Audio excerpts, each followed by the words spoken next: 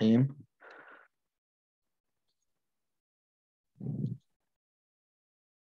نبدأ. اي نعم ثواني بس.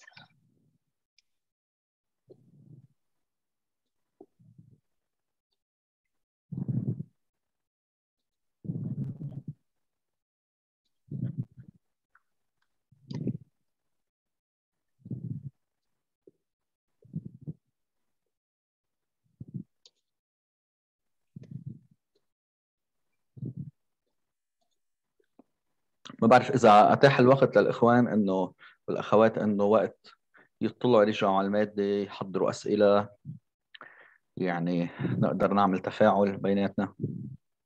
ولا يا ريت. يعني هو يومين أعتقد كافي.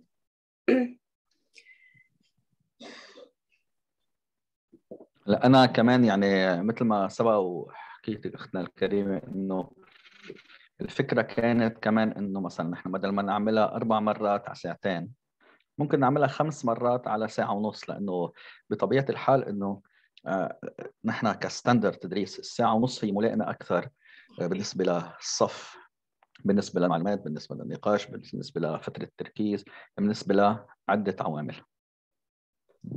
خصوصا أن المادة الدسمة أيضا آه، ليست نظرية. نعم. طبيعه الحال صحيح.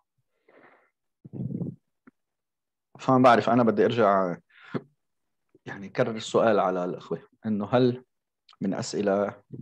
أكيد هلأ إن شاء الله بنتلاقى سبت أحد إذا الله راد كمان نبحث أكثر بالموضوع. إن شاء الله. أكيد عندنا محاضرة إن شاء الله السبت والأحد. طيب نبدأ. بسم الله الرحمن الرحيم والصلاة والسلام على سيدنا محمد وعلى آله وصحبه أجمعين. حياكم الله دكتور غسان مع المحاضرة الثالثة لمادة إدارة الاقتصاد. وأهلا وسهلا بجميع الأخوة والأخوات معنا من دبلوم الإدارة والاقتصاد الإسلامي. أي سؤال يا أخوة للمحاضرات الم- الماضية أو إشكال تفضلوا افتحوا المايكات وداخلوا مباشرة.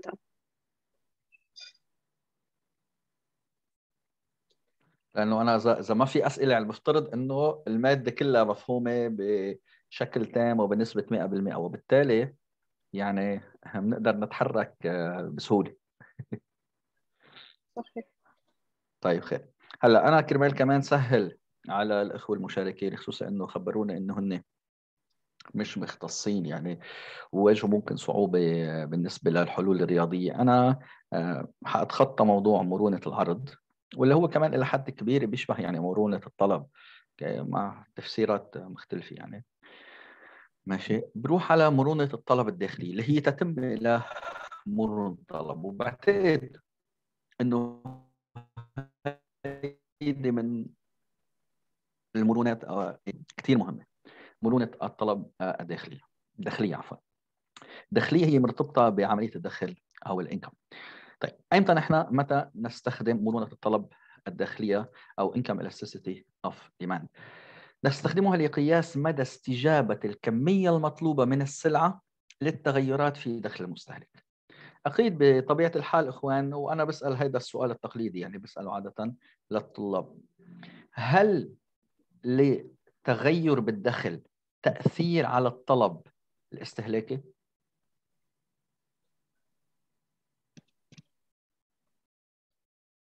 وأنا بتمنى الإجابة تكون يعني شفهية أفضل لأنه بتسهل علي وعليكم.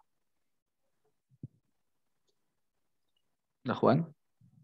تفضلوا يا أخوة شاركوا. أخي حسن تفضل. افتح المايك عندك. السلام عليكم دكتور. وعليكم السلام. تفضل أخي الكريم. كيف حالك دكتور؟ طبعا دكتور الدخل أكيد الحمد لله الحمد لله. أكيد أكيد بأس. أكيد تغير الدخل له علاقة على الطلب لأنه دائما الإنسان يعني يسعى إلى تأمين بعض يعني قد ينتقل من الناحية الحاجية إلى ال... إلى الضرورية إلى الرفاهية فهذا يتعلق بالدخل اللي عنده. فإذا ما كان في دخل راح يكون الطلب قليل الا على المواد الضرورية. طيب هذا التحليل يعني منه بعيد عن الواقع بس نحن حنحاول نصوبه أكثر مين كمان عنده وجهة نظر أخرى؟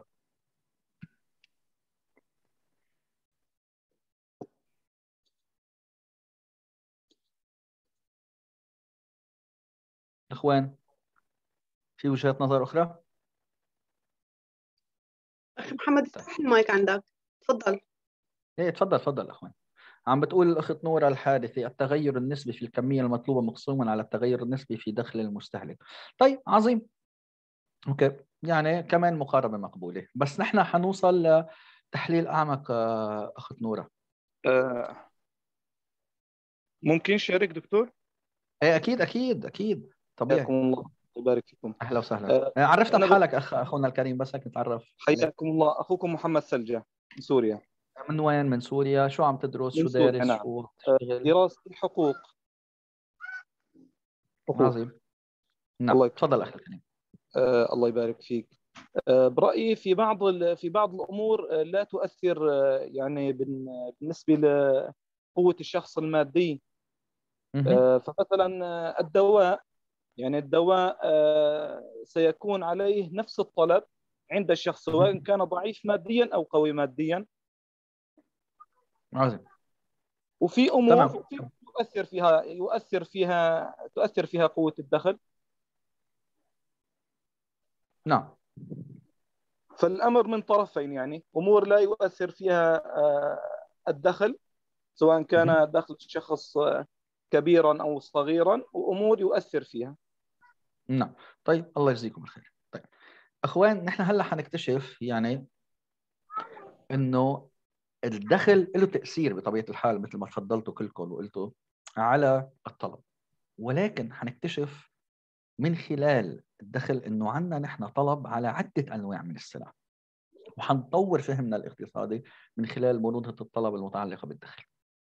هلأ عمليا تنقيس مرونة الطلب الدخل مثل العاده نحن بنقيس التغير بكمية الطلب مئويا على التغير بكمية الدخل. إذا لاحظتوا هيدي المعادلة هي كثير بتشبه معادلة مرونة الطلب بالنسبة للسعر.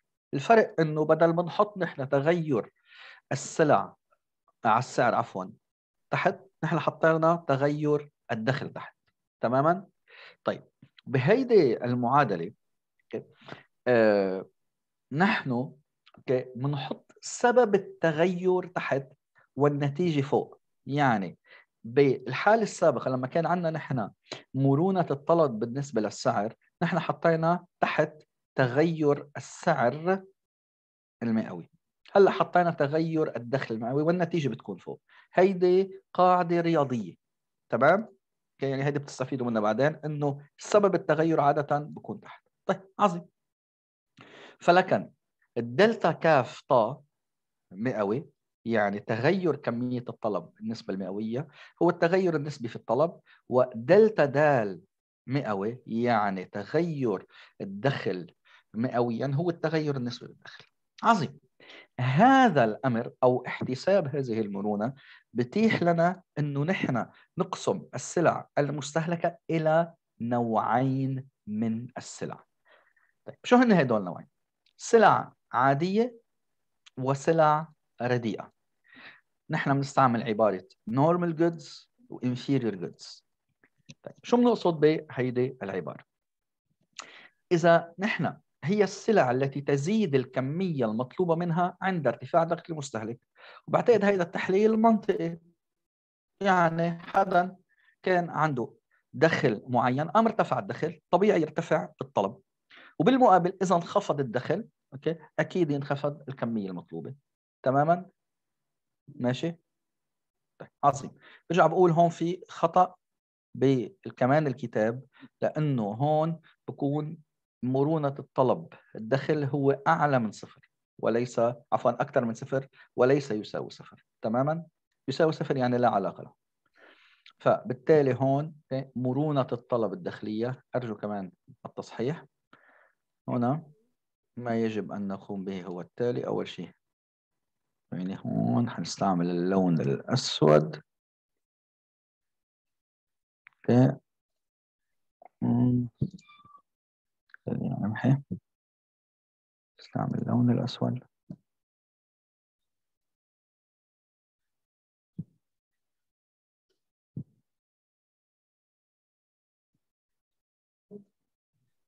أوكي. نصلح ونقول. إنه عندما يكون مرونة الطلب بالنسبة للدخل أعلى من صفر ساعتها بكون سلعة عادية. طيب. هيدا ما في عليه مشكلة. هلا الطرح هو حيكون لما نروح بالنسبة لما نسميه السلع الرديئة. برجع بقول مش السلع الرديئة يعني آه، ضروري تكون هي سلع آه، يعني غير مجدية سلع آه، أقل نوعية أو شيء بس سلع أقل بالنهاية الأمر. قال شو بقول وهون بدنا أشكن فيها. هي السلع التي تنخفض الكمية المطلوبة منها عند ارتفاع دخل المستهلك. إف. وكذلك فإن انخفاض دخل المستهلك يؤدي إلى ارتفاع الكمية المطلوبة منها.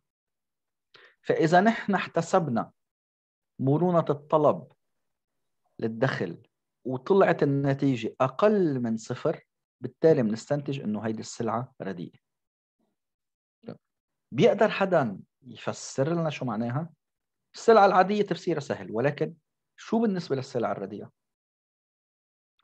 حدا ممكن يخطر على باله أكيد أنا المثال عندي في أمثلة كثير جاهزة.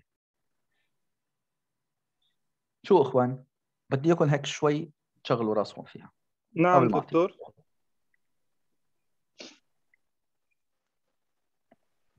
إيه تفضل. هل من جواب؟ أه، السلعة السلعة الرديئة مثلا أه، شخص كان دخله محدود فكان يشتري مثلا ملابس ما لا ماركة مثلا معينة أو إيه؟ معروفة. رائع.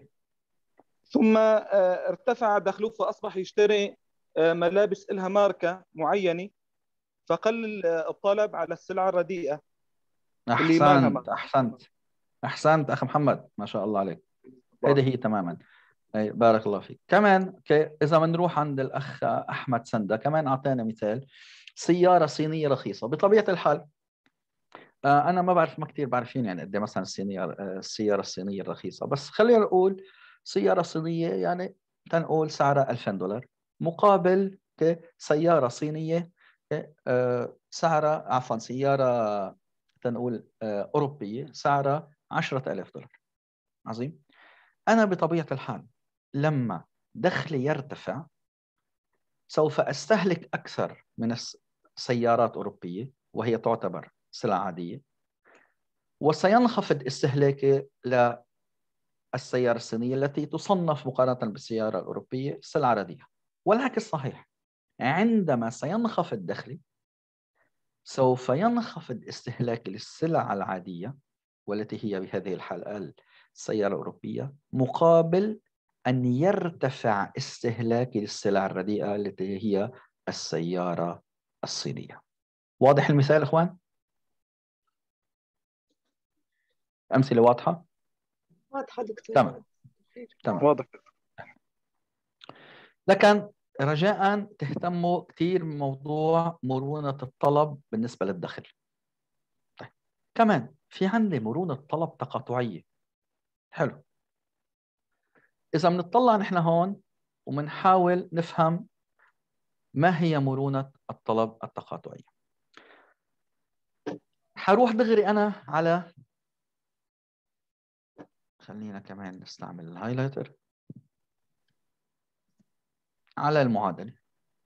بنلاحظ أنه ماشي عندي مرونة وأنا بنفس الوقت أقوم أضع تغير كمية الطلب على تغير السعر. فحدا ممكن يقول لي عظيم بس ما هيدي هي آه يعني آه تقريبا آه نفس المعادلة الموجودة لما حسبنا نحن مرونة الطلب بالنسبة للسعر. بقول له صحيح. بحالة مرونة الطلب بالنسبة للسعر اللي درسناها بالمرة الماضية. نحن كنا عم نحكي عن نفس السلعة. أما الآن فنحن نح عم نحكي عن كمية طلب على سلعة ألف وتغير السعر لسلعة ب حرجع عيد. تغير الطلب على سلعة ألف مقابل تغير السعر لسلعة ب وهيدا اللي بنسميه نحن مرونة الطلب التقاطعية وبعتقد باللغة الإنجليزية يمكن أسهل اللي هي cross price elasticity of demand. So هل cross price elasticity of demand عم بتأشر لعلاقة بين سعر سلعة وطلب على سلعة أخرى؟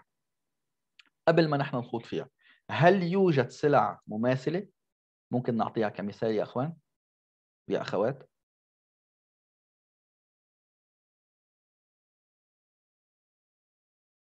حدا عنده مثال عملي؟ تفضلوا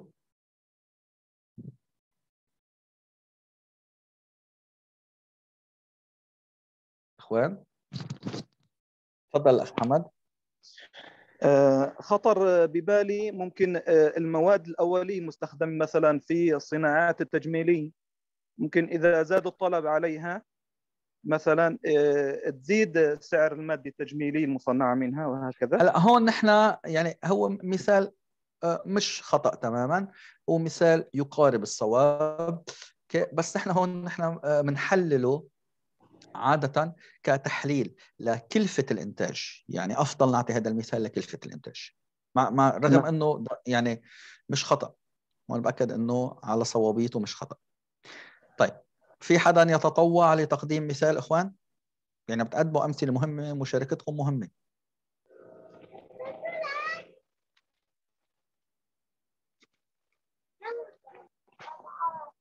أخ أحمد سندا أنت عرضت موضوع السيارات صح؟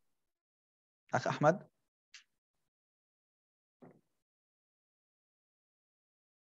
طيب إذا رجعنا لموضوع السيارات ألا تجدون أن هناك علاقة بين سعر المحروقات من جهة والطلب على السيارات من جهة أخرى؟ أكيد. طبيعة الحال عظيم. فتغير سعر المحروقات يؤثر على الطلب على السيارات سواء سلبا أو ايجابا. يعني واذا رحنا على شيء تفصيلي أكثر ارتفاع سعر المحروقات يؤدي إلى انخفاض بالطلب على السيارات والعكس صحيح. انخفاض سعر المحروقات يؤدي عمليا إلى ارتفاع الطلب على السيارات. هذا بديهي. والسيارات مع المحروقات هي بنسميها نحن سلع تكاملية. هلأ بنشوفها نحن اللي هي complement goods.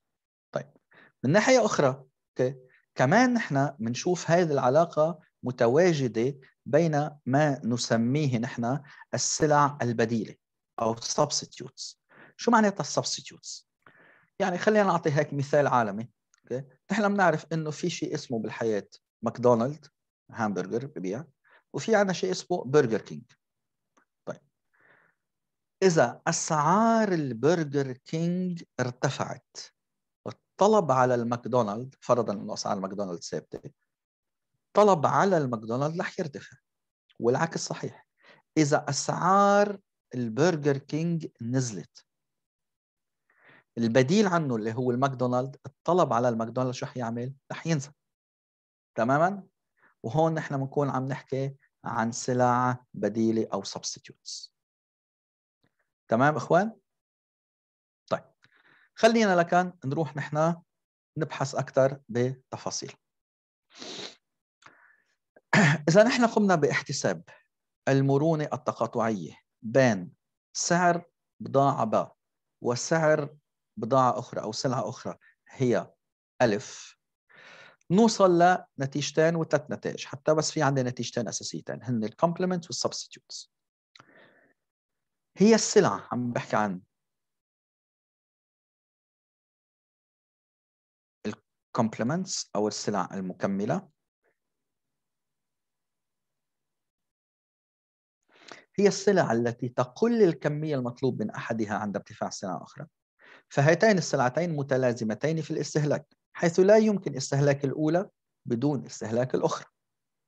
ومثل المثال الأفضل اللي نحن طرحناه اللي هو السيارة والبنزين أو الشاي والسكر. تماما؟ مع العلم أنه ممكن نشرب شاي من دون سكر. طيب هيدا موضوع ثاني بس أكيد ما فينا نسوق سيارة بدون بنزين. وفي هذه الحالة يكون معامل مرونه طلب التقاطعية سلبا. هون كثير مهم. يعني إذا نحن قمنا باحتساب المرونة التقاطعية للعلاقة بين سعر ألف وطلب باء بيطلع عندي negative. مجرد ما طلعت negative يعني الناتج هو minus ناقص كذا إلى آخره minus 1 minus 2 minus 3 فبالتالي أنا دغري أستنتج أن هذه السلعة هي سلعة مكملة أو complement goods واضح أخوان؟ هل من أسئلة؟ طيب عظيم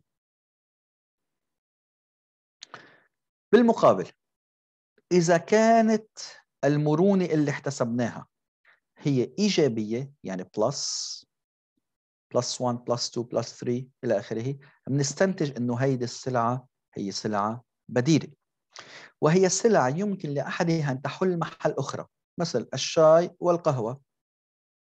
والقهوة ارتفعت أسعار الشاي الطلب على القهوة بيزيد انخفضت أسعار الشاي الطلب على القهوة ممكن يقل. يعني هذا بيرتبط بالأذواق إن ارتفاع سعر القهوة مثلا سيعمل على انخفاض كميه مطلوب من القهوة ولكن سيدفع هذا الارتفاع المستهلك بحث عن بديل مناسب ما سيعمل على زيادة الطلب على الشاي. تمام لهون إخوان؟ هل من اسئله طيب خير. ويبقى عندي. تمام أخ عبد الباسط. بيبقى عندي أنا نوع ثالث يعني هو نوع هامشي بس حنذكره. ليش ما عندي أوكي. هي السلع المستقلة. هون إذا كنا نحن احتسبنا معامل المرونة يعني المعادل حطيناها فوق وطلع النتيجة صفر نستنتج أنه هذه السلع التي لا ترتبط مع بعض البعض حيث أن التغير في سعر أحدها لا يؤدي إلى تغير الطلب على السلع الأخرى. كمان هيدي من النتائج نحن ممكن نوصل لها. يعني مثلا التغير بسعر البنزين لا يؤثر على الطلب على ربما الشاي. تمام؟ فهيدي بنسميها سلعة مستقلة. يعني ما في عندها علاقة بيناتها. والدليل إنه النتيجة مرونة الطلب بالنسبة للدخل. عفوا مش بالنسبة هون الخطأ. الطلب بالنسبة للسعر التقاطعية هي تساوي صفر. تماما؟ لكن هيدي ثلاث أنواع من السلع. رجاء اهتمام بهذا الموضوع. لكن الموضوع اللي حكينا عنه الطلب وعلاقته بالدخل والطلب التقاطعية يعني علاقة سعر سلعة معينة بطلب على سلعة أخرى مغايرة تماما. قبل ما ننطلق ونخلص من الطلب والعرض والمرونة هل من أسئلة يا لا اسئله هل من استطرادات استيضاحات طيب. أي مداخلة يا أخوي أخوات؟ نعم. الله يجزيها أختنا نورة الحارثي. الله يجزيك الخير. شكرا نورة. شكرا أخ عبد الباسط. طيب لننتقل إلى فصل الرابع عادة هو يسمى سلوك المستهلك. باللغة الإنجليزية نسميه الكونسيومر behavior أوكي أخ أحمد سندة. عادة حتى لاحقا ما بعرف كمان إذا بيرجع هذا الأمر للإدارة بالأكاديمية. هيدا عادة سلوك المستهلك يعني نحن بندرسه بعدة جامعات بندرسه كمقرر مستقل. صحيح. أوكي كسلوك المستهلك. ماشي وهو جدير بالاهتمام خصوصي هو جزء أساسي آه، للناس اللي بدهم يدرسوا مادة التسويق وال marketing. طيب. عظيم. أنا مهدت أنا سبق ومهدت لموضوع. أنا سبق ومهدت لموضوع سلوك المستهلك عندما طرحنا سؤال إنه هل سلوك المستهلك هو سلوك عقلاني أو غير عقلاني؟ وأكيد ناقشنا هذا الجواب معكم. وصلنا لخلاصات معينة حول عقلانية أو عدم عقلانية المستهلك. هل حندرس شوي من وجهة نظر اقتصاديه سلوك المستهلك هو تقوم دراسته على تفسير ذلك السلوك بأنه قد يكون عقلاني رشيد. أي تفترض انتبهوا مش هذا الحقيقة. تفترض بأن المستهلك عند توزيعه لدخله على السلع والخدمات يقوم بذلك بطريقة واعية ورشيدة ومخططة. من أجل الحصول على أكبر قدر من الإشباع أو ما نسميه باللغة الإنجليزية utility أو منفعة. ممكنة في حدود ذلك الدخل المخصص للإنفاق. يعني بلغة الاقتصاد وهي كمان انعكاس لفلسفة المنفعة اللي أطلقها جون ستيوارت ميل أنه نحن ممكن نحصل على منافع ضمن قدرتنا الإنفاقية الاستهلاكية. ولكن بتدل هذه القدرة أو الميزانية هي الضابط الأساسي ونحن بنوزع آه، موضوع الدخل الموجود عنا بحسب ما نحصل عليه من utility وساتسفاكشن أو إشباع ومنفعة الرغبة والطلب والأذواق. الرغبة والطلب والأذواق الرغبة هي مجرد شعور نحو سلعة ما أو أمنية المستهلك في اقتناء سلعة ما فإذا توفرت ظروف لاقتنائها وتوفرت القدرة المادية والسعر المناسب فإنه عندئذ تتحول تلك الرغبة إلى طلب effective demand في المفهوم الاقتصادي. فحتى لو كان عندك رغبة من دون القدرة المادية أنت لا يمكن أن تعد ضمن demand أو ضمن الطلب الفعال. وبالتالي يجب أن تتوافق الرغبة مع القدرة المادية. أما إذا حالت موانع دون تحقيق لها الرغبة أو امتلاك سلعة ما فإنها تبقى مجرد رغبة وعندها لا يمكن النظر لها على أنها طلب. من هنا نستنتج أن الأسعار والدخل من المحددات الأساسية لسلوك المستهلك إضافة إلى ذلك فإن الأسواق أو اذواق عفوا أو التيس وتفضيلات المستهلك preferences تلعب دورا مهما إلى جانب السعر والدخل في تحديد السعر. لكن نحن هلأ عم نجرب ندخل عوامل إضافية.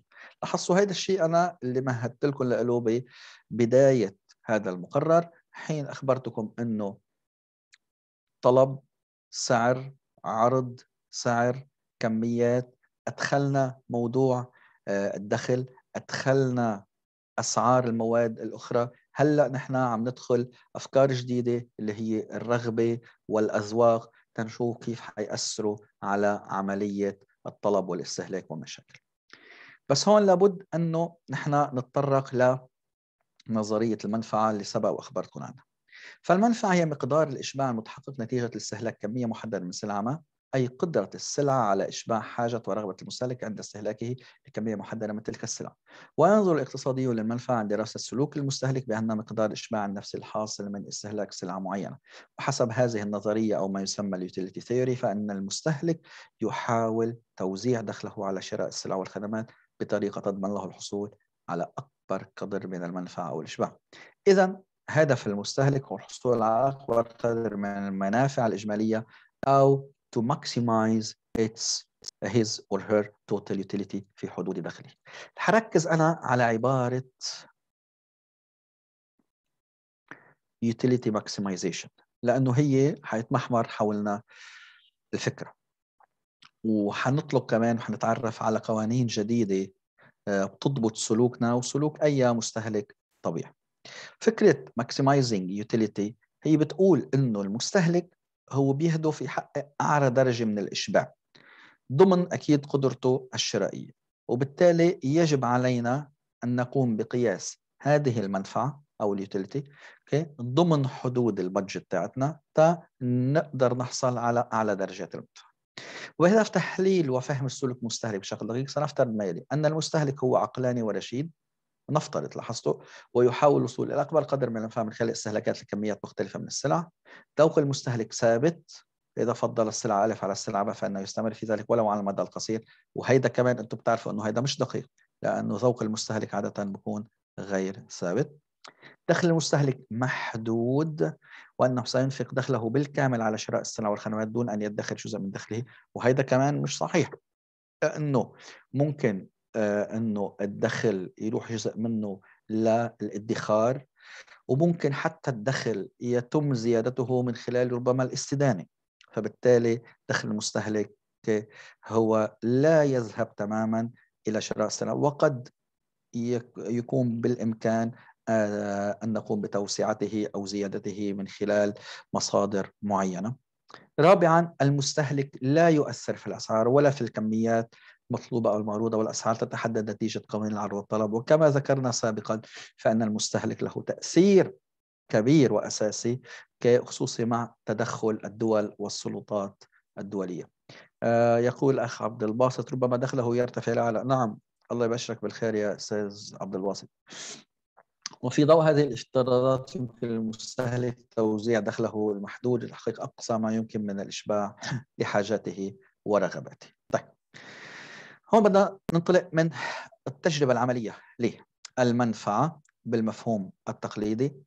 افترض الاقتصاديون التقليديون أن المنفعة مقياس يسمى ميم منفعة utility U يستطيع المستهلك من خلال قياس المنفعة يحصل عليها نتيجة استهلاك كمية ممكن آه، محددة ضمن ميزانيته للحصول على الإشباع هلا مجموع ما يستهلكه أو ما يمكن أن يقوم بتحصيله من منافع هو ما يسميه نحن total utility أو المنفعة الكلية خلينا ناخذ مثال وهون نحن حننتبه لقانون كتير مهم بقضية المنفعة وأنتم حتشاركوني فيه يعني شاركونا هي مسألة أساسية كما ترون في هذا الجدول هناك استهلاك للتفاح وبالمقابل هناك منفعة كلية. انتبهوا المنفعة الكلية يعني هي وحدات تراكمية يعني عم تتراكم. يعني كل مرة نحن عم نضيف إضافي إضافي إضافي تماما؟ طيب. عم نلاحظ إنه أول حبة تم استهلاكها من حبات التفاح أعطتني منفعة اثنين. استهلكت حبتين أو صرت مستهلك حبة إضافية. قمت أنا ارتفع المنافع الكلية من اثنين لخمسه يعني أنا أضفت ثلاث وحدات منفعة. يعني ثاني حبة لوحدها أعطتني ثلاث وحدات منفعة. استهلكت ثلاث حبات يعني ثالث حبة. أخذت أنا حصلت على أربع وحدات منفعة إضافية فارتفع إلى تسعة. الرابعة نفس الشيء كمان أعطتني خمس وحدات إضافية ارتفعنا ل 14 مجموع وحدات المنفعة. هون بلشت لاحظ شيء من استهلاك الحبه الخامسه إنه أعطتني بس ثلاثة وحدات منفعة فارتفع من 14 ل 17 لما استهلكت السادسة أعطتني بس وحدة منفعة لما استهلكت السابعة أعطتني وحدة منفعة بس وبالتالي أنا ما تغيرت بعد عفوا هون صفر. لأنه ما تغير بقيت على 18 الحبة الثامنة صار عندي ماينس 2 أنا خسرت اثنين منفعة. وبالحبة التاسعة خسرت كمان ثلاثة منفعة. شو استنتجتوا من المثال اللي قدامكم؟ وهو مثال صحيح وعملي ونحن كبشر عادة ك يعني بنعيشه بدي مشاركتكم. مشاركتكم أساسية. شو استنتجنا يا أخوان؟ من المثال اللي قدامكم.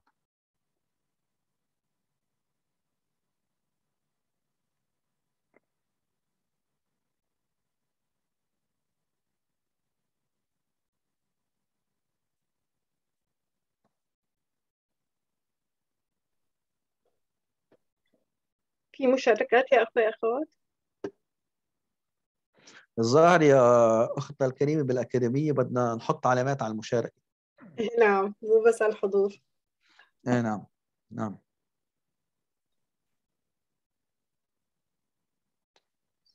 شو يا أخوان؟ أكيد أكيد في علاقة بين الكمية والمنفعة لكن بتوصل لمرحلة معينة تتوقف هذه المنفعة. ممكن محاولة للمشاركة لو سمحتوا تفضل. بسم الله الرحمن الرحيم. السلام عليكم دكتور. وعليكم السلام أخي الكريم. تفضل. حياكم الله. في البداية فعلا بتزداد المنفعة كلما ازداد آه، يعني تناول حبات التفاح. لكن إذا وصل إلى مرحلة الإشباع بالتالي بتكون المنفعة بعد ذلك أقل بل المفسدة والمضرة بتكون أكثر. لأنه وصل إلى مرحلة الإشباع وبالتالي آه، يعني العوائد والفوائد الذي بيأخذها من تناول حبات أكثر من التفاح بتقل. وبتروح يعني آه، فائض عن الحاجة. نعم. أحسنت أحسنت آه، أخي الكريم الله يبارك فيك. يعني أصبت الموضوع. الاخ طارق قدور يعني عنده مشاركة يعني أن كل شيء يزيد عن حده تكون آثاره سلبية. أخ نورة الصوت عندي يروح ويرجع ما سمعت السؤال؟ سوف نعيده يا أخ نورة. عندما كان الجسم بحاجة زادت المنفعة وعندما اكتفى الجسم بدأت تنقص المنفعة. هذا تفسير بيولوجي. آه طارق الدور آه الآثار. آه أخ ببكر محمد تنقص الغلة أخ أحمد سندة زيادة الكمية. أخ ببكر أحسنت المنفعة الحدية. عظيم. أو ال marginal utility كما تفضل أخي الكريم بمشاركته وقال نحن كما لاحظنا أخوان نوصل لمكان هي مرحلة إشباع. يعني آه، في حال توازن يقول أخ عبد الباسط بين حبات التفاح والمنفعة تزداد المنفعة لكن عندما تصبح كمية التفاح أكبر تنقص المنفعة. صحيح. هناك قانون يحكم الاستهلاك والمنفعة. أخت نورة هل تسمعيننا بشكل واضح؟ هلا هي المشكلة بتجوز من عند الأخت نورة بالشبكة تبعها. نعم. لأنه الصوت واضح عنا واضح تماما. نعم. تمام. طيب. لكن آه كما كنا نقول إخوان هنا هناك قانون يحكم هذه العلاقة آه النفعية. آه هو ما نسميه uh, diminishing law of utility. Okay. Diminishing your law of utility okay. يعني uh, قانون المنفعة المتراجع. قانون المنفعة المتراجع هو يفترض uh, أو هو حقيقة أننا في مراحل أولى من استهلاكنا يكون المنفعة الحدية أو الهامشية ال marginal utility اللي هي المنفعة لكل حبة على حدة من حبات التفاح في مثالنا هذا تكون كبيرة ولكن مع استهلاكنا للمزيد من هذه الحبات تتضاءل المنفعة الحدية شيئا فشيئا رويدا رويدا ثم تصبح بحدود الصفر ثم بالعكس يكون لها آثار سلبية. فربما استهلاكنا المزيد من حبات التفاح وإذا أردتم المزيد من قطع البيتزا وربما المزيد من الهامبرجر هذا قد يؤذينا وربما يسبب لنا الألم وبالتالي تتحول المنفعة إلى ضرر. وهذا هذا الأمر هو مثبت ويعني مش بس عمليا من ناحية الطعام من ناحية كل أنواع الاستهلاك سواء كان استهلاك للسلع أو كان استهلاك للخدمات. وبالتالي إذا أردنا أن نرسم منحنى للعلاقة بين الإشباع والمنفعة الكلية كما ترون ترتفع ترتفع وهنا أعود وأذكر أن هذه المنفعة الكلية أي مجموع كل وحدات المنفعة ثم تعود فتهبط لأنها تتحول إلى صفر ومن ثم إلى ناقص. يعني هنا في هذه دعوني أستخدم القلم. وهنا تتحول إلى صفر. هنا تتحول إلى ناقص. وهنا تكون يعني بلس أو إيجابي. تماما؟ Okay. هذا هو القانون الذي يحكم مسألة المنفعة. الأخ عبد الباسط يقول في حال توازن بين حبات التفاح والمنفعة لكن عندما تصبح كمية التفاح أكبر تنقص المنفعة. نعم ولكن نحن ما قمنا به أخ عبد الباسط قمنا بشرح إضافي للمسألة. لنواصل العملية. وبالتالي علينا هنا أن نطلع بما نعنيه بالمنفعة الحدية أو ال marginal utility أو المنفعة الهامشية إذا جاز التعبير على أنها مقدار التغير في المنفعة الكلية المحقق لزيادة الاستهلاك. فالمنفعة الحدية بكل بساطة التغير في عدد الوحدات المستهلكة على التغير في المنفعة الكلية. فإذا أردنا تطبيقها هنا يعني آه، عادة نحن نتحرك بكمية الاستهلاك حبة حبة. فبالتالي يعني عملية الاختلاف ضئيلة. ويبقى هنا أن نقوم ب آه يعني نقوم خمسة ناقص اثنين ثلاثة تسعة فاصلة آه، تسعة عفوا ناقص خمسة أربعة. فعندما آه نقوم بطرح آه القديم من الجديد نجد الفارق تبدأ المنفعة الحدية بالزيادة كما سبق وذكرنا المعدل المتزايد ثم تبدأ في التناقص ثم تتحول إلى صفر ثم تتحول إلى سالب. وهذا ما سميناه قانون تناقص المنفعة الحدية اللي هو law of diminishing marginal utility. ويتضح من ذلك أن العلاقة بين المنفعة الكلية والمنفعة الحدية كما يلي أوكي؟ يعني هون مثلا نحن حطينا تقريبا علاقة ومثل ما حكينا وقسمناها إلى ثلاث أو أربع أقسام فتكون متزايدة ثم تتناقص ثم صفر ثم okay? يعني okay? تصل إلى سالب نتيجة سالبة. لنحول هذا الأمر إلى هذا الجدول الأكثر وضوحا. هنا كميه التفاح. هنا المنفعة الكلية وهنا المنفعة الحدية. تماما؟ هلأ آه ربما بالامتحان أنا سأعطيكم كمية السلعة المستهلكة مع آه المرونة الحدية وتجدوا المرونة الكلية أو العكس سأعطيكم كمية الاستهلاك مع المرونة الكلية لتجدوا المرونة الحدية. هل من أسئلة؟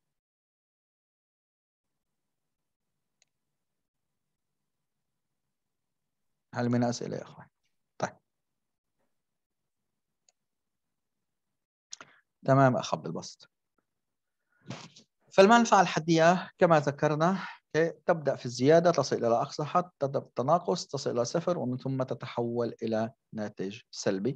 إذا أردنا أن نحولها إلى الشكل الذي ترونه أمامكم نجد أن المنفعة الكلية التي تزايدت هي بفعل تزايد المنفعة الحدية والتي بدأت تفقد ارتفاعها مع تدني مستويات المنفعة الحدية. طيب فما هو law of diminishing marginal utility أو قانون تناقض المنفعة الحدية؟ تفسير ذلك أن الوحدات الأولى المستهلكة من السلع تعطي أكبر منفعة للمستهلك إذا استمر المستهلك باستخدام السلع فإن الوحدات الإضافية تتضاءل وتصبح منفعتها أقرب إلى الصفر لتتحول بعد ذلك إلى آه، سالب. بعد أن بات المستهلك في حالة أشبع حاجاته ورغباته. طيب. هلا.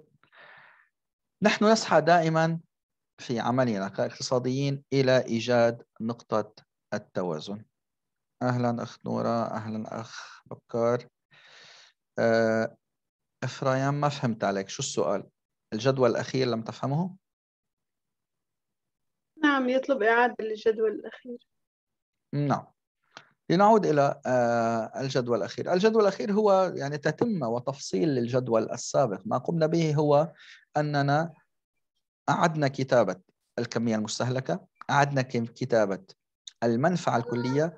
ما أوجدناه هنا هو المنفعة الحدية يعني الفارق بين ما كانت عليه وما أصبحت عليه. فمثلا كانت هنا في المنفعة الكلية صفر أصبحت اثنان يعني المنفعة الحدية هي اثنين.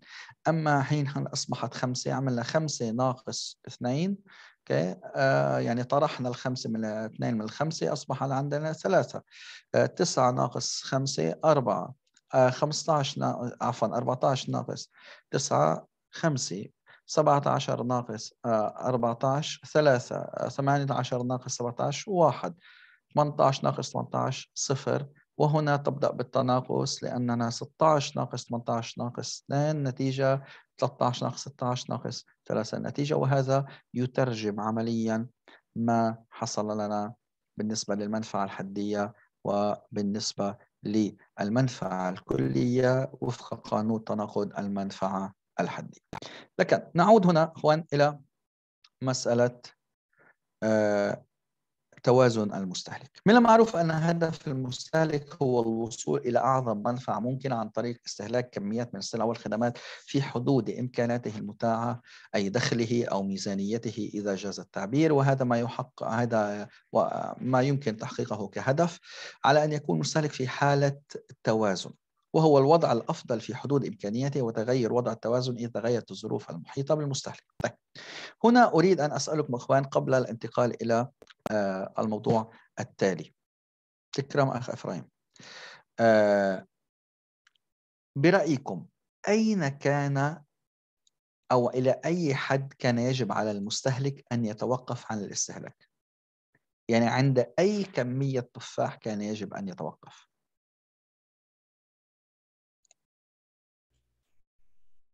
عند أربع تفاحات. عند أربع تفاحات. من المجيب بس لو سمحت اسمك؟ توفيق. أنا توفيق أحمد طيب. طيب لماذا اخترت يا أخ توفيق؟ ما هو المعيار الذي دفعك لاختيار الأربع تفاحات؟ لأنه الأخ طارق قدور يقول أنه كان يجب أن يتوقف ربما عند التفاحة الخامسة. السؤال لأنه المنفعة بدأت تتضاءل وتتضاءل عظيم. عظيم. ولكن يعني أخ توفيق. نعم. توفيق. آه يعني آه كمان نحن لاحظنا إنه استهلاك آه استهلاك آه المستهلك للتفاحة الخامسة قد أعطاه. أخوان رجاء عدم التشويش. أخوان أخوان. إخوان.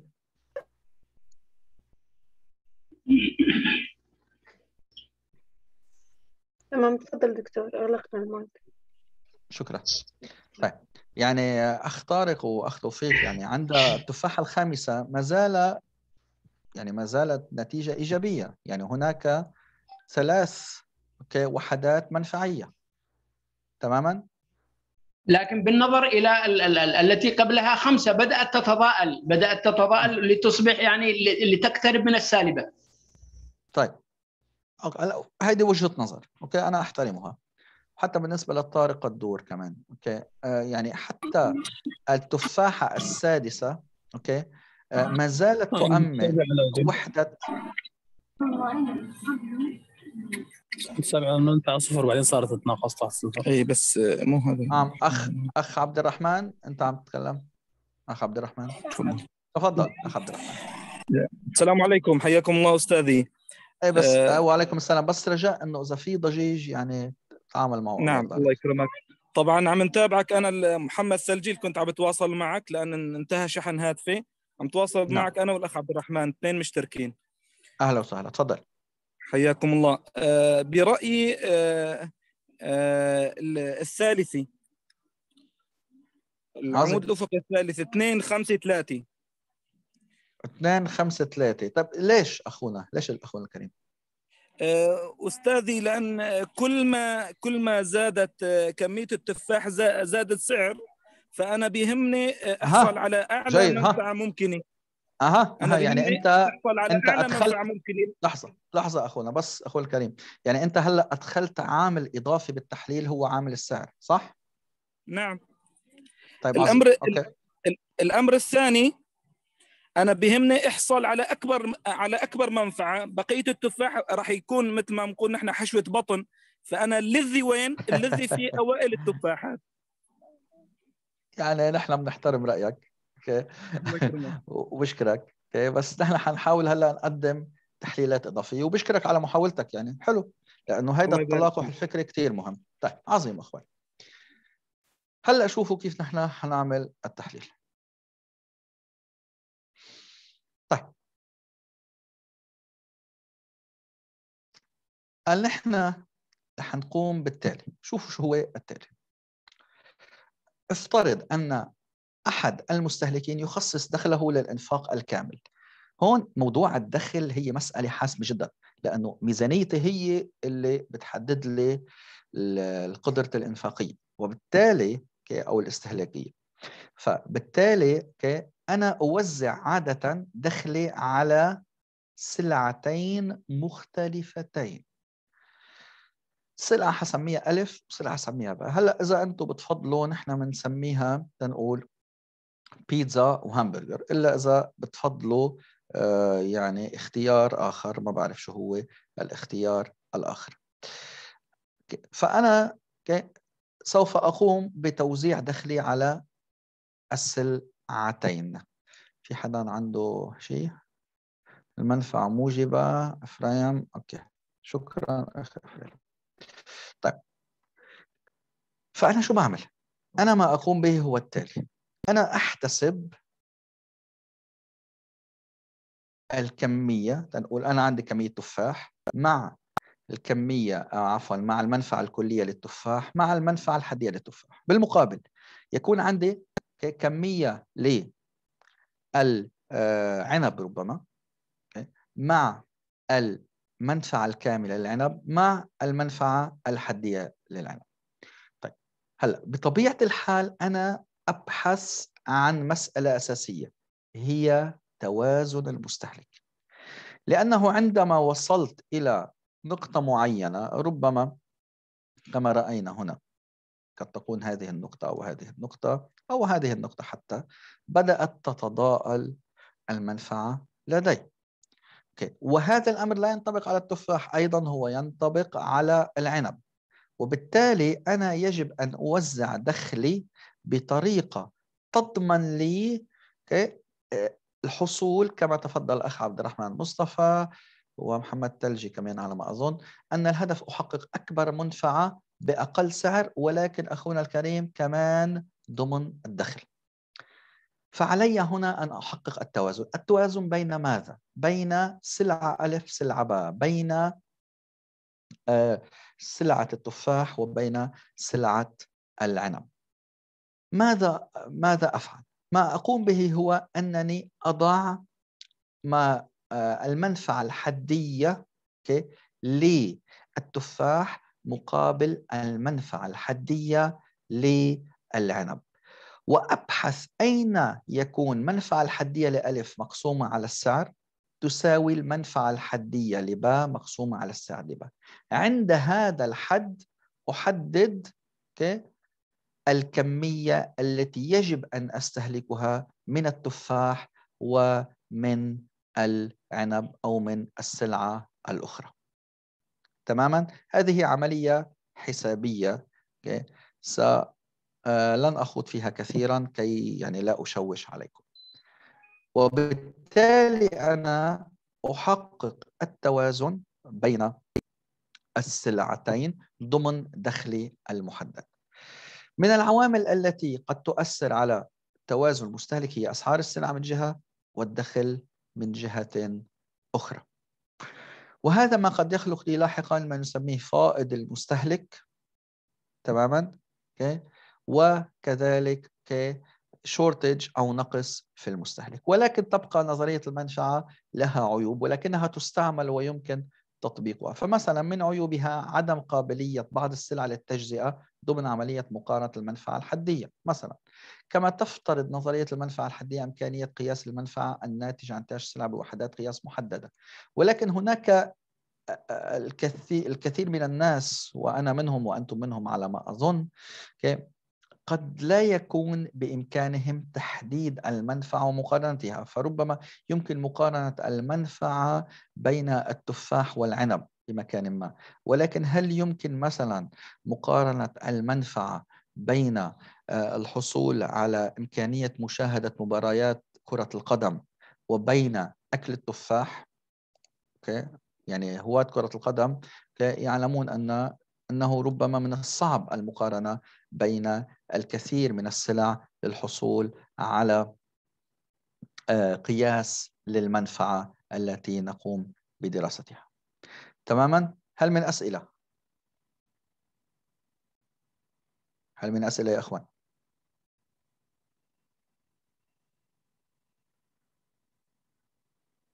طيب لا أسئلة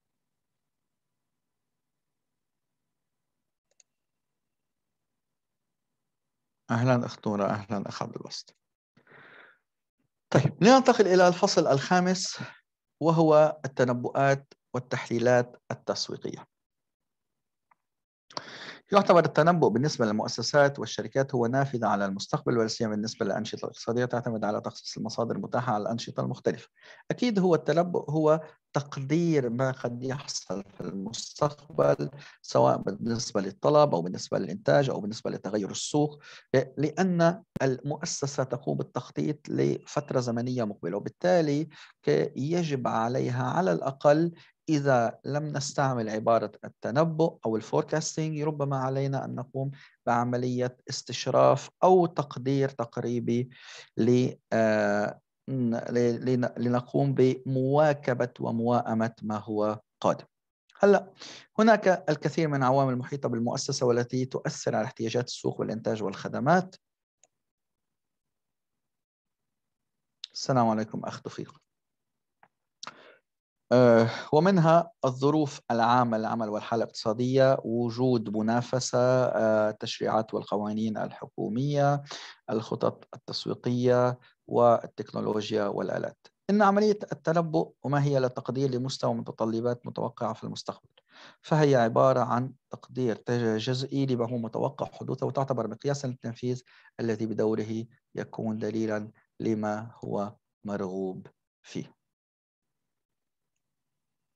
وتستخدم بعض المنظمات أو المؤسسات بعضا من قواعد التوقعات أو التنبؤات مثل إيرادات المبيعات وحدات المنتجة تكلفة البضائع ساعات العمل المباشر ساعات التشغيل وجميع تعتبر قواعد عامة للتنبؤ وتعتمد قواعد أو أساسيات التنبؤ على خطط إنشاء المتطلبات. والتنبؤ كعملية هو يمثل حلقة اتصال بين البيئة الخارجية غير المتحكم فيها أو الخارجة عن السيطرة وبين المسائل الداخلية التي يمكن للمؤسسة أن تتحكم بها وتسيطر عليها. كوظيفة للتنبؤ هو يمثل مجموعة من الإجراءات الهادفة للحصول على تقرير النشاط المستقبلي ولذلك فالتركيز الأساسي ينصب على نموذج التقنية المستخدمة بعمليات التنبؤ ويعتمد اختيار نماذج التنبؤ بشكل أساسي على القيود المفروضة على المؤسسة من خلال الإدارة والمصادر وظروف التسويق والتقنيات المستخدمة. ويمكن أن تصنف مصادر أو نماذج التنبؤ من حيث النوعية والناحية الكمية والنوعية. وبوجه عام فإن التنبؤ لابد وأن يشمل درجة من عدم الدقة ومعرفة المخرجات المطلوبة والمدخلات ذات القيمة التي تؤثر على الطلب يمكن أن نحلل نماذج التنبؤ المختلفة. طيب هنا أتوجه بالسؤال لكم أخوان وأخوات. ما هو برأيكم الطريقة الأمثل أو الأفضل أو الأكثر عملية للحصول على تنبؤات دقيقة تتيح للمؤسسة أو لمصانع الإنتاج أو للشركات العاملة بتحديد المتوقع في السوق؟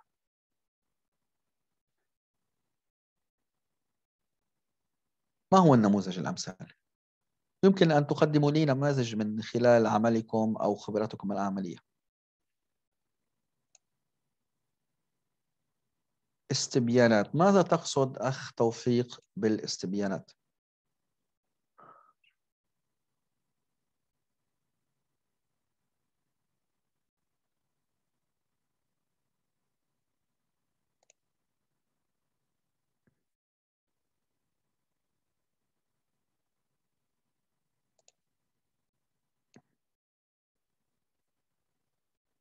العرض والطلب في السوق أخ محمد أحمد. صبر آراء شريحة من العمال مستويات الدخل أخ حسن. طيب أوكي جيد. كل هذه عوامل أيضا مضافة أخ عبد الرحمن دراسة مدى الطلب على السلعة. صحيح صحيح. طيب نحن سنأخذ بعين الاعتبار الكثير من العوامل. أولا منها الأفق الزمني أي المدى المطلوب هل هو أقل من شهر آه، ثلاثة أشهر سنتين ربما أو أكثر. درجة التفاصيل وتوفرها. الظواهر المتعلقة بالاقتصاد. الهدف من التنبؤ ما هو مدى ثبات واستقرار الظاهرة وخصائص صانع القرار. بالنسبة للأفق الزمني وهو من خصائص أسلوب التنبؤ. أولا يختص بالمدى الزمني المناسب للتنبؤ. فهناك أساليب أفضل في التنبؤ لفترات قصيرة بينما هناك أساليب تتناسب مع الأجال المتوسطة والطويلة وبوجه عام تستخدم أساليب غير الكمية في حالة ما يكون أفق التنبؤ الزمن طويلا. أما العنصر الثاني فيختص بعدد فترات التنبؤ في المستقبل. كذلك هناك نمط البيانات وتفترض أساليب التنبؤ الكمية نمطا معينا للبيانات. أما الأساليب غير كمان تقبل أي نمط يمكن تحديده وعادة ما تأخذ بيانات أحد أنماط التالية فهناك البيان أو النمط الأفقي وهو يكون بطريقة أفقية كما ترون في النموذج أو في الشكل خمسة واحد ضمن البيانات الأفقية. هناك أيضا وهذا يعني يؤشر إلى ثبات عام. وهذا أنا برأيي غير دقيق. هناك النمط الموسمي وهذا ربما أكثر عملية لأننا نأخذ كالمواسم المناخية تغير المواسم حصول يعني ربما آه، أحداث أو إيفنتس أو آه، يعني آه، يعني قضايا معينة أو يعني مثل الأعياد والاحتفالات مثل بداية الشهر آخر الشهر أول الأسبوع وهذا يؤثر على استهلاك الكثير من السلع والخدمات المختلفة كما تعلمون.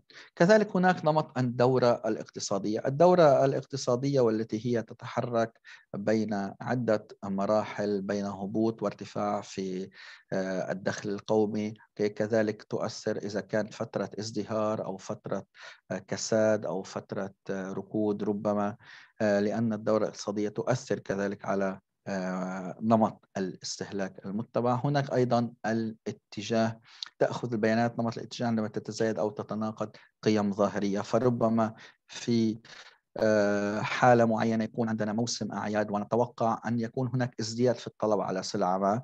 بالمقابل قد تكون الدورة الاقتصادية تمر في حالة ركود أو كساد ربما وهذا يخلق لنا تناقضا بين ظاهرتين.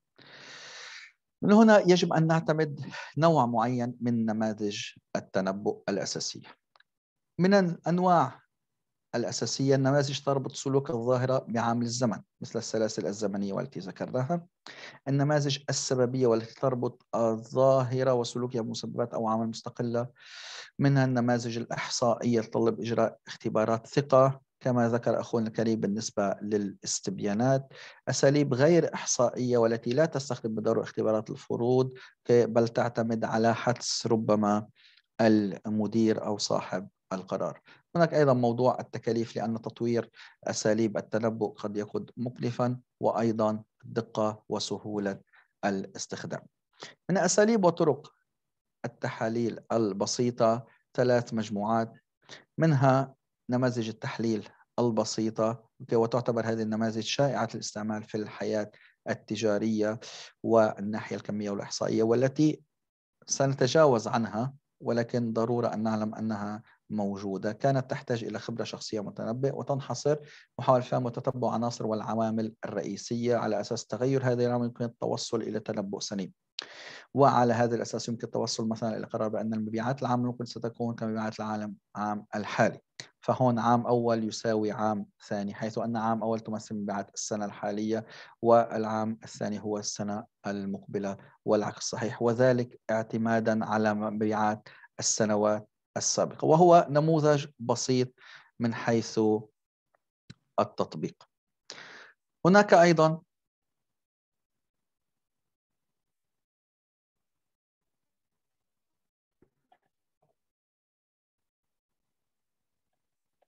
بالإضافة إلى النماذج البسيطة.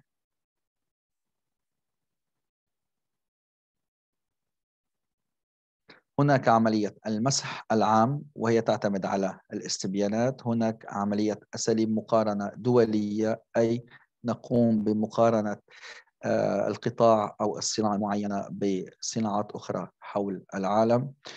هناك أسلوب طريقة متوسط استهلاك الفرد. فكذلك إذا رأينا أن متوسط استهلاك الفرد والتي هي تعتمد على الدخل بالدرجة الأولى تراجعت فنحن آه، نأخذ ذلك بعين الاعتبار ونشير إلى أن اتجاه الاستهلاك الاستهلاك العام ربما قد ارتفع فنتنبأ أن الاستهلاك العام للمادة سيرتفع أو العكس صحيح سوف يتراجع إذا تراجع مستوى الاستهلاك العام ومستوى آه، الدخل.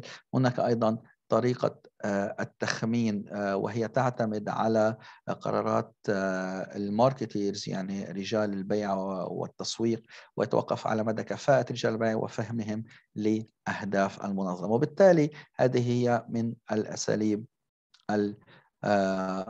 المعتمدة والأساليب التي تعتبر بسيطة ومستخدمة بشكل واسع. ونحن نقوم الآن بتجاوز آه، العمليات الحسابية كي لا نعقد المسائل بالنسبة لكم. تماما. هل من أسئلة حتى الآن أخوان؟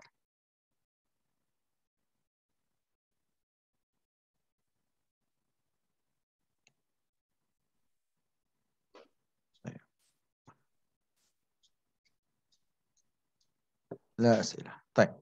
آه، أختنا بالأكاديمية. طيب اختنا بالأكاديمية. طيب سنوقف تفضل هنا. اليوم. إذا لم يكن لديكم مانع. okay ونتابع السبت والأحد المقبلين إن شاء الله. إن شاء الله. وسوف نأخذ بعين الاعتبار المشاركات يعني. أنا سأقوم بوضع جدول بعد إذنكم. okay? نعم. وسأضع علامات معينة على المشاركة والأسئلة إذا سمحتم. لي تمام ما في مشكلة. الله يسعدك دكتور. أوكي؟ وسأعمل كذلك سأقوم بإضافة بعض الفصول على المادة. إذا لم يكن لديكم مانع. ما في مشكلة ما في مشكلة دكتور. تسلم أخ توفيق تسلم. الله يبارك فيك ويجزيك عنا كل خير. الله يخليك يا رب. إن شاء الله آه، لقائنا الأسبوع القادم يوم السبت بنفس نعم. الموعد. إن شاء الله إن شاء الله. الله يعطيكم العافية وشكرا للأخوة والأخوات الحضور. آه، ونلقاكم على خير الأسبوع القادم. السلام عليكم ورحمة الله وبركاته. وعليكم السلام ورحمة الله وبركاته. شكرا دكتور. أهلا وسهلا.